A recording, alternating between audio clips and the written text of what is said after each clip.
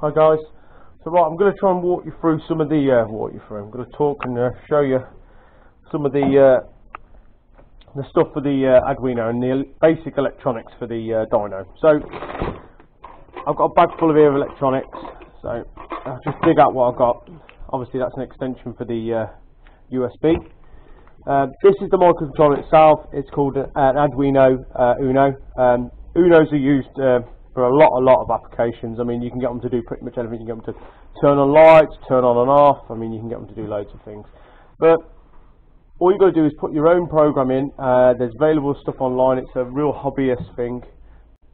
Yeah, uh, Arduino Unos are used for a lot of uh, YouTubers use them. I've seen um, a guy called Dude No Computer use them. I've seen Colin Furze use them and, and they're used to do a lot of things. I mean, you can program it to become a timer, uh, you can program it to do, you know, anything you want it. That's what it is. It's a microcontroller. You can get it to, you know, run all sorts of applications. But the software I got uses this and another method, but I won't, I won't bog down you with loads of information. But this is a RPM pickup sensor. So basically, what this is going to do at the moment is just an RPM sensor pickup. So that's all it does and the wiring off here is one wire and the sensor's got to have a 5 volt feed and it sends a, a, signal at 5 volts down it and it, it works out math and calculations and all that through the dyno the rotating mass um, and everything else and does all the math equations and everything else that is good enough if you just want something to do your top speed your BHP figures and your torque figures but I want to be able to do a little bit more so um, when researching on doing this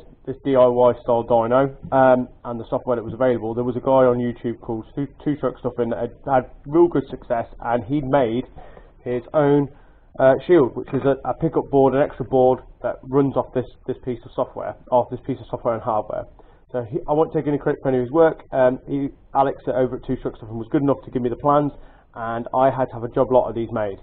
Um, what this basically does is, if you look on, look actually on the sensor itself, it says roller, Hall sensor, uh, Hall RPM, cap RPM, and roller. So basically, it's pretty self-explanatory. Cap RPM is your spark. So it will take you, you, you attach a little clamp, um, like one of these fellas, one on the earth for the bike, which is the earth, and the signal wire goes straight to your spark plug. You're meant to wrap like a copper wire around and then to that. And what it'll do is that'll pick up a spark signal and that will work out, calculate into RPM on your, on your dyno. So your dyno will then be able to run your engine RPM. The Hall RPM is actually an RPM sensor that's already on your bike. So if your bike's got a cam sensor or a digital crank sensor or it's an ignition, uh, like a, an injection bike, it will run a Hall RPM. So you can actually piggyback off that to run or you could make up your own RPM. Say if you've got like something with a carb, you could put a pickup on the uh, generator or any part of the flywheel to pick up your own RPM sensor. The roller, obviously, is the roller for the dyno. So this, this little board's going to pick up your RPM sensor from your roller. Um, there is an option on this roller to on this software to run two RPM sensors. So at the minute this is a bike dyno, but if you were actually you could use this application for a car dyno and you could uh, run two twin RPM sensors uh, one for each side because you know it's going to be a car. Uh, so like you can put both wheels and two rollers, and it calculate off two RPM sensors. Um, all of the hardware for this is, I mean, I had to buy it in job lot. So the 555 sensor, it's got everything on this board. It's, it tells you exactly where all the components go and what they're called and everything else. So I mean, I'm no electronic wizard, but at the end of the day, it's pretty, it's pretty simple. So there's an LED. It says if you look on it, it's got all of the uh, all of the all the components are listed and what they are and what they're called and what you know voltage and everything else. So that explains everything on this side of the board. On this side of the board, you've got another one, two, three, four, five breakout boards, and these breakout boards are going to be used for uh, oil pressure temp, uh, you know, water temp, um, you know, air fuel ratio. You could take a, a piggyback breakout board and run your air fuel ratios, and this will all run through the same software and the same you know, Dyno and else and all the software you got. So you'll be able to, not only are you able now just to read RPM, but you're also able to check your air fuel ratios, check that you're not overheating. Uh, you, you know, when you're dialing in timing and stuff like that, you'll be able to check if it's getting hotter. So this is going to do a hundred times more. You have to do a hundred times more with this board, with this, in your house. Um, I've got a limited supply left of these. Well, I've got, I've had to make a lot of them, and I've, I've had to make a job lot of them, and I've got some of these available. So if anybody is interested in a, a dyno shield for a, an Arduino board to run all this setup, um, I'll sell them to subscribers and you can have them for a, a tenner posted anywhere in the world. So hit me up if you want a uh, Arduino shield and um, yeah, I've got I've got a few locking around. Um, regarding the wiring and everything else, the best thing I could find through some I needed a three core wire and the best thing I could find was audio jack cable. It's already shielded, um, which is a, a plus, and it was readily available and cheap. So this is what's going to run the wiring from the you know the PC or, or and the Arduino to the roller itself. So that was the best one there. When we put Mixbike in, I had an issue where uh, every other bike was fine on it when we tested it, but the second we put Mixbike on it, the interference from his bike from it must be like, you know, it's called background noise and stuff like that. You know when you used to have a car back in the day and, you turn the radio on and you could hear the suppressor, you, you sorry, excuse me, you meant to have a suppressor to um, hide the noise, like the background noise from the engine and stuff. Um, so I picked up, somewhere in amongst this crap in here, where is it gone? Here it is. So this is this is an audio jack cable ground loop. So basically, this is to try and eliminate any background noise or interference that the RPM sensor is getting. Because when we plugged it in before, it was fine on one bike, and then we plugged mix in, and all we got was like, like I say, was it was interfering with the, the, the results on us on the on the dyno. Um, it was throwing all the signal all over the place. So hopefully, uh, with this fitted, we're going to be able to get rid of all of our background noise. So that was a couple of quid. Um, this is the bracket that goes on the dyno.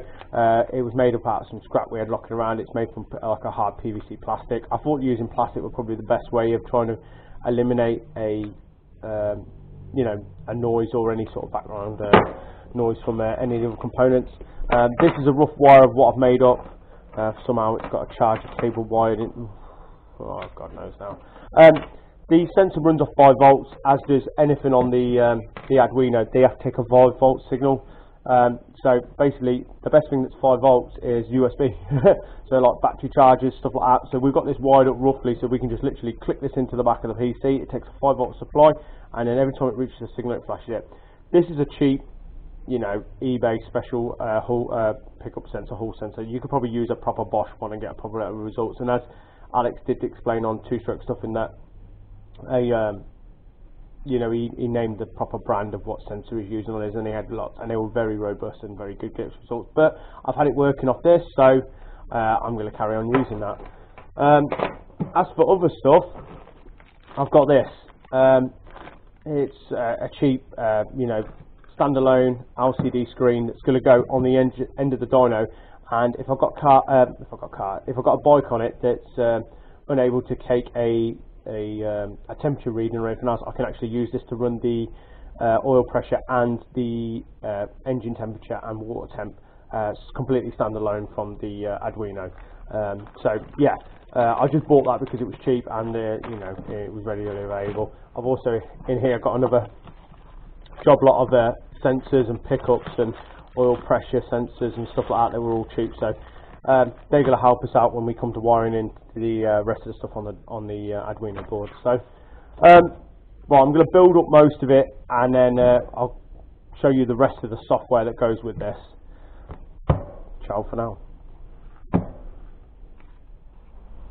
Right, this is our uh, it's our software, and it's a it's a system called Simple Dyno. Uh, so I'm just going to up my screen here and if I go to this little icon will show at the bottom of the screen uh, done by a guy called DamoRC uh, I don't know him personally but the, uh, the software is available free online. Um, so if I go to what do I want on here? I want to go to show I think. Where the hell is it? It's been a while since I've been on here. Uh, labels uh, what do I go to? Do I know? That's how I set it up. Oh while I've got the screen up I'll show you. So basically um, this is how you calibrate and set your dyno up. You don't, these are non-critical parameters, so you don't need to put these in. So these ones here aren't really necessary, but these ones are the critical ones. So it's going to want to know your, your roller uh, millimeters, it's going to want to know thing, it's going to want to know the wall thickness, it's going to want to know the mass, so it's going to know how heavy it is in kg. Uh, it's going to know uh, how heavy your axle diameter is, so that's how fat your axle is. Your axle mass, it'll want you the weight of your axle. Um, any end cap mass or any extra mass. So if you've got stuff that like uh, like an extra flywheel or a sprocket that runs something else, you're going to need to needs to know that. uh, any extra mass, and then you've got uh, signals RPM1 and RPM2. So, so if you're running just a single dyno like we are, like a single, single roller, you only need one. But if you're running for a car dyno, you need two. Uh, so yeah, that's the, basically how to calibrate the actual roller itself. Um, I've got to go remember what thing, I think load, that's it. So I've got to go into my load. And then I come up here I've got dyno screen setting, so I just uh, select that. And that's it. So that's my uh, that's my basic setup. And you can modify and change this however you want, but this is how I've got my screen set out. Um, if you go into you go into your labels and dials and you can change all sorts. So I go into gauge and I can put another gauge up here and change it and all sorts. So you know you can come in and you can change all your parameters. So uh, I can come in and change this to BHP or uh, torque, uh, power. Actually, you can actually have uh, minimum power. So if I do a power run, it will show me the minimum figure, or I can do a maximum figure. So if I do a maximum power, it will show me the maximum power accurate. So it will just be like live. Um, so if I'm doing a power run, I can it will show me the data real time as fast as it possibly can. So yeah, that's the basic layout. I've got it calibrated now to a maximum of 100 bhp and a maximum 100 torque, but you can change it to a thousand if you wanted to.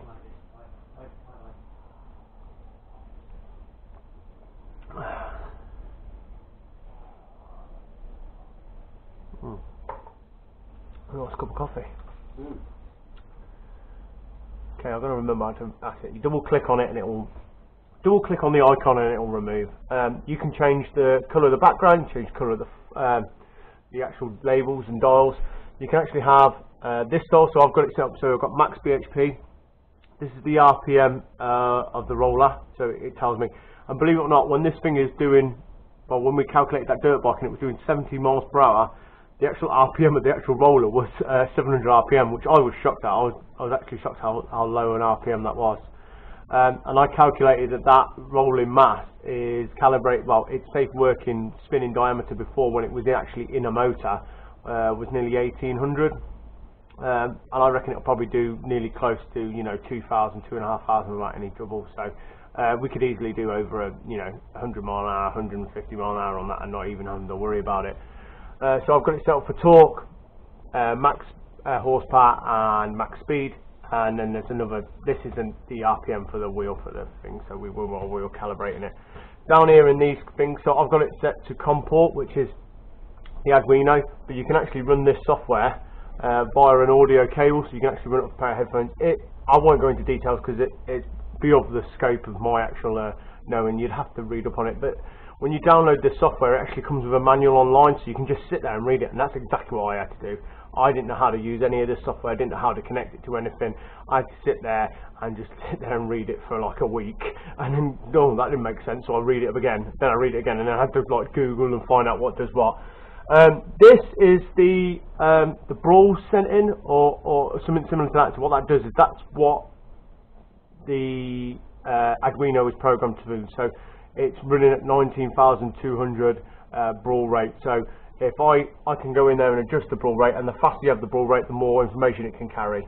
Uh, I set it at mid rate because I didn't know the.